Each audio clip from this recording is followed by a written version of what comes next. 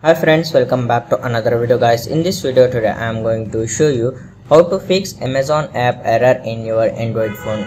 So guys error is something went wrong at or end. So guys let's fix this problem just follow my simple steps so without any time waste let's get started.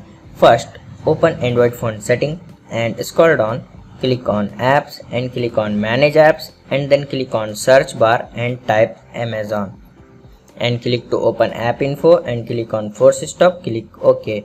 Click on clear cache click ok. And click on app permission make sure all permission is allowed like this and go back. And click on restrict data usage and check this box wi-fi and mobile data and click ok. And go back open play store application in your android phone and click on search bar and type amazon. Click to open amazon app Make sure Amazon app is up to date in your Android phone and restart your phone problem is solved. So guys this is way to easily solve Amazon app error in Android phone. Thanks for watching my video. Please don't forget to like, share and subscribe my channel and press bell all notifications. See you next video.